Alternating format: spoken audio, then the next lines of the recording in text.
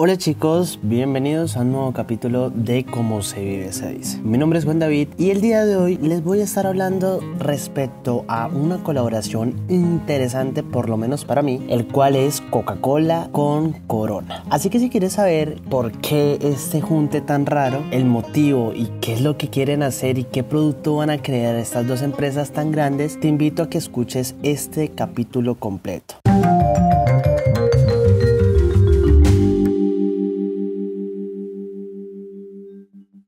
Hola chicos, ¿cómo están? Feliz año, feliz Navidad, felices Reyes. Espero que me les haya ido muy bien. Les cuento que este es el primer capítulo del año de cómo se vive se dice. Y qué más que comenzar con una de las empresas que más me gustan a mí, la cual es Coca-Cola.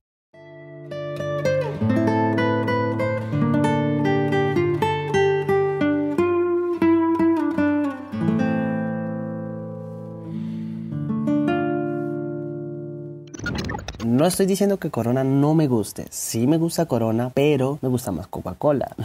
Llevo más años compartiendo con Coca-Cola. Ya lo leyeron aquí abajo en el título. Es Coca-Cola y su nueva bebida alcohólica junto a Corona. Esta noticia es muy reciente, demasiado reciente. Esta noticia y el comunicado de prensa oficial lo pueden ver ya mismo, ya está disponible en la página oficial de coca-cola.com. Ellos lo hicieron público el 7 de enero de este año 2022. Resulta y pasa que Coca-Cola se va a asociar con el fabricante de cervezas Corona para lanzar una nueva versión alcohólica de su refresco fresca. Ya vamos a estar hablando de qué es fresca. Thank you.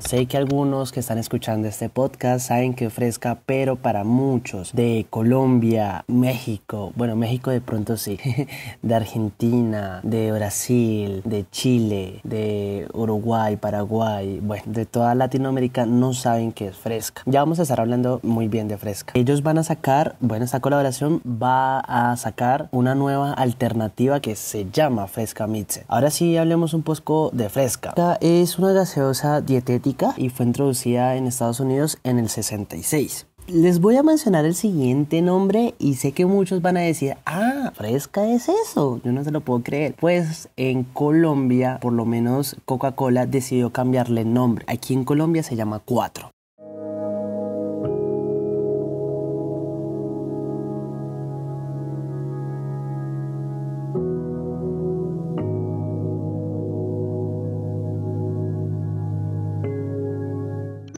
Sí, señores, cuatro, esa, esa gaseosa tan deliciosa, esa, esa gaseosa que, no sé, alegra las tardes. No siempre se puede tomar porque no es una gaseosa que, que aguante tomársela así como la Coca-Cola todos los días. Somos el único país que esta bebida se distribuye con el nombre de cuatro y utiliza lo mismo que fresca utiliza los mismos colores, utiliza los mismos logotipos y utiliza las mismas pegatinas. Es idéntico a Fresca, solo que se llama 4. Igual, Fresca tiene un sabor a toronja, a cítricos, no tiene calorías y es actualmente la marca comercial de más rápido crecimiento en temas de desembolsar dinero para Coca-Cola en Estados Unidos. Y esto lo indica en el comunicado oficial de prensa.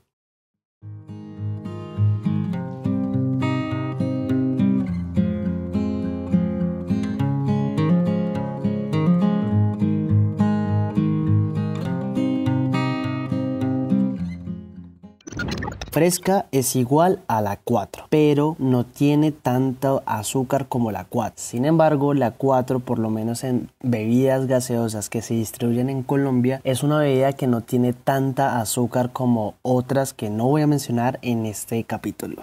Hay algo interesante de este capítulo y es que no solamente vamos a hablar de fresca midset ni de fresca que acabamos de hablar, no es la única bebida gaseósica alcohólica o gaseosa alcohólica, no sé cómo se pueda determinar. Esta es la tercera incursión de Coca-Cola en el mundo de las bebidas alcohólicas. Déjenme contarles un poquito de las dos anteriores que han sacado y de pronto si yo les menciono el nombre ustedes se acuerdan. Ambas siguen en distribución y ambas se siguen consumiendo, una más conocida que otra.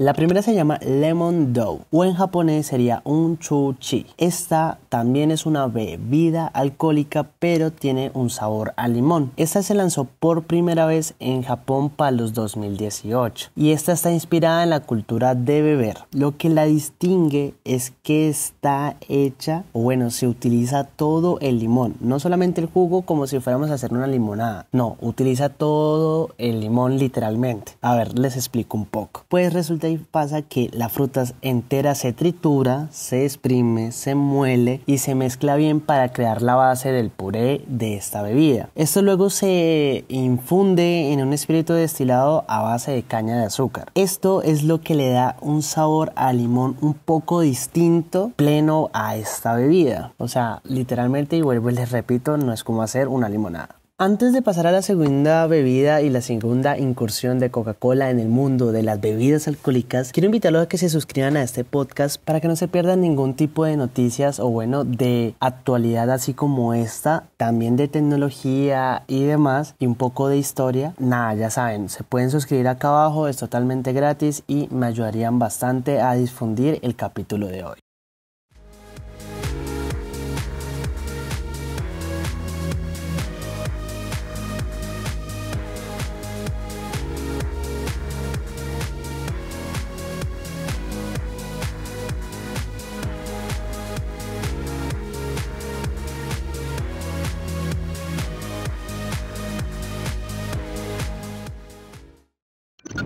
Nos vamos para marzo 17 del 2021. En Colombia se lanzaba la marca Topo Chico. De pronto muchas personas la conocen, en mi caso no la conocía antes de hacer la investigación de este capítulo, tampoco la había visto ni en comerciales, ni en publicidad, ni en vallas, ni siquiera en los almacenes más importantes de cadenas de Colombia. Esta es una bebida también alcohólica gasificada, ¿vale? Esta fue la primera eh, bebida con alcohol producida por Coca-Cola. Topo Chico Hearts Health es una bebida elaborada con agua y gas, alcohol, aromas naturales, sin gluten. Esta bebida se lanzó principalmente en tres sabores: lima limón, cherry acai y tropical mango. Cada uno de estos envases es en lata, obviamente, y trae 330 mililitros. Hagan de cuenta que es como si fuera una speed de estas modernas que están sacando. Tiene unos 96 calorías aproximadamente, 2 gramos de azúcar y un volumen de alcohol del 4,7%. Así que bueno, ya saben, pueden hacer el cálculo de cuánto alcohol quieren en su sangre y así se toman un 6 pack, 2 6 pack, 3 pack. Ya dejémonos de, de molestar y ahora sí hablemos del responsable de este episodio, la cual es la Fresca Midset.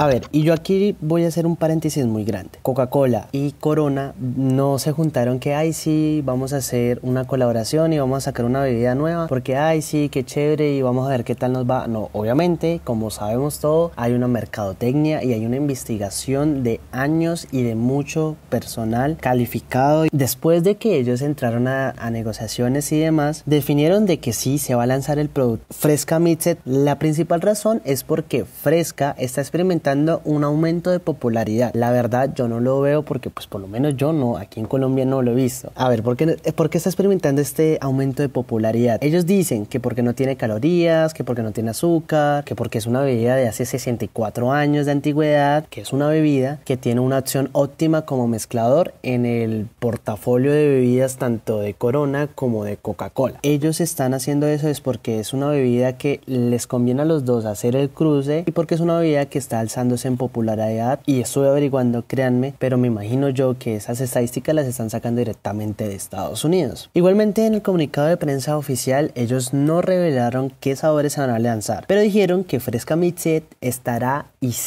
inspirada en recetas creadas por los fans de Fresca de todo el mundo. Vuelvo y les inspirada en recetas creadas por los fans de Fresca de todo el mundo.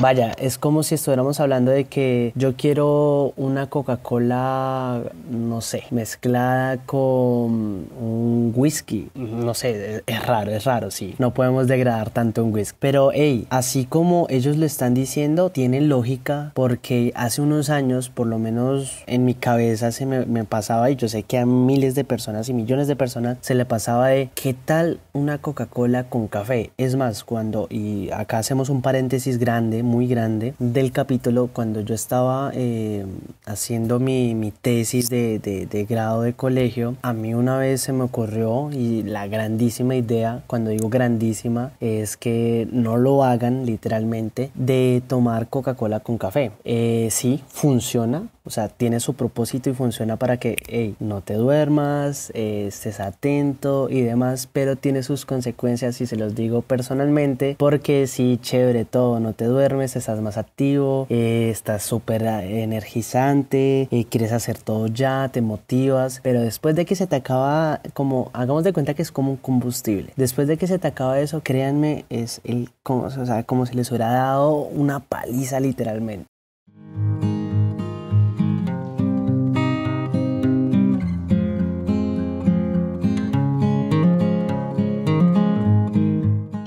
Pero bueno, dejando eso atrás, es viene siendo la misma fórmula. Viene siendo la misma fórmula que ellos sacaron con eh, la Coca-Cola y el café. Pues esta vez lo están sacando con Coca-Cola con licor, literalmente. ¿Y a qué va lo que les acaba de decir? Pues resulta que eh, ellos saben qué es lo que está funcionando hoy en día y qué es lo que no está funcionando. Pues en las estadísticas generales que ellos nos arrojan en el documento oficial es que las bebidas alcohólicas crecieron un 53% el año pasado y se proyecta que crezca otro 29% durante los próximos tres años. Estos datos los sacó la IWSR, que es los Drinks Avals. Y no solamente eso, como sabemos aquí no solamente es de complacer al cliente y darle gusto al cliente, sino también es del dinero. Constellation, que es la representante legal de Corona, dice que incluyen los cócteles listos para beber, las bebidas alternativas para adultos, representan un mercado de 8 mil millones de dólares y continuará creciendo espontáneamente. O sea, estamos hablando de que eso es una locura literalmente y es una innovación en todo el mundo de las bebidas. No estoy hablando de las bebidas gaseosas, ni las bebidas alcohólicas, ni nada por el estilo. Estamos hablando de las bebidas en general.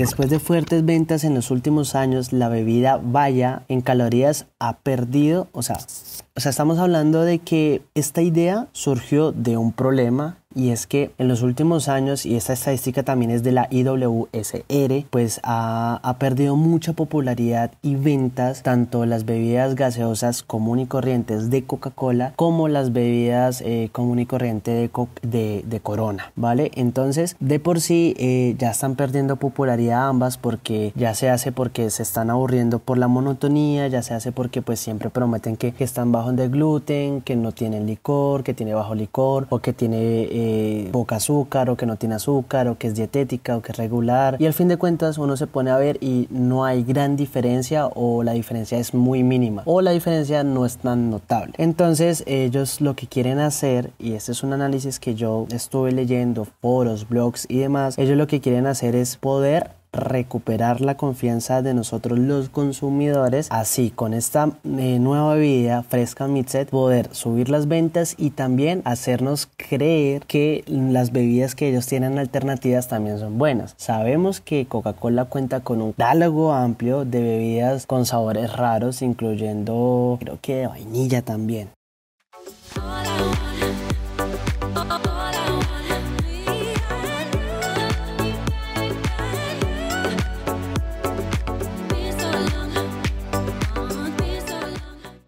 Antes de terminar este podcast, quiero decirles que rival principal o bueno, el, el competidor de Coca-Cola es Pepsi, ¿cierto? Pues Pepsi anunció el año pasado su ingreso a la industria de las bebidas alcohólicas con una bebida que se llama Hard MTN Dev. Esa es una bebida enlatada sin azúcar con un 5% de alcohol por volumen que está creando con Boston Beer Company. Así que bueno, esperemos a ver qué tal le va a, a Pepsi con esta eh, bebida nueva y, y bueno, esperar a ver qué tal surge esta competencia y este nuevo mundo de bebidas. Y, y, bueno, quiero que ustedes me cuenten aquí abajo en los comentarios ¿Qué les parece? Si les llama la atención esta nueva propuesta que tiene Coca-Cola de incluir el gas en el alcohol? O sea, ustedes se tomarían, hagamos de cuenta, ustedes se tomarían una Coca-Cola que sepa a corona o ustedes se tomarían una corona que tuviera gas? No sé. Sería interesante probarlo, pero mmm, va a tener igualmente como todo, va a tener su hate y va a tener a sus love. Va a tener gente que la consuma y va a tener gente que no la consuma. Así que no sé, ¿de qué team son ustedes? ¿El de love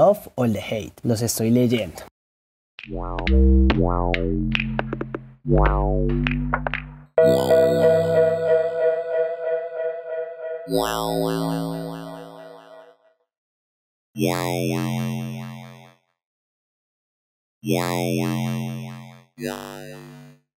Así que bueno chicos, esto fue todo por este capítulo. Espero que les haya gustado, espero que les haya podido dar a entender la información que les traía. Es algo que me parece muy interesante y es algo que debemos tener en cuenta porque a partir de ahora va a empezar a cambiar la industria de bebidas por todo lo que les acabo de decir. Les recuerdo que este es el podcast de Cómo se vive se dice. Mi nombre es Juan David y nos pueden escuchar en todas las redes de podcast oficiales. Spotify, Deezer, Anchor, Google Podcast y demás redes de podcast. Mi nombre es Juan David y nos vemos hasta el próximo domingo.